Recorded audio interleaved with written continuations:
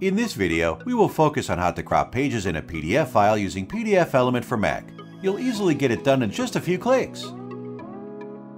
Let's start by importing a PDF file. Move the cursor on the Tool button on the left, then choose Crop Pages. Now dragging the border of the page to adjust the crop margins as you need. If you only want to crop one page, click the Apply Different Cropping to multiple pages. If you want to apply the adjustment to multiple pages, click the Apply the same cropping to multiple pages button instead. Then click the Apply button and exit the cropping mode. That's it! If you found this tutorial helpful, please don't forget to like the video and subscribe to our channel.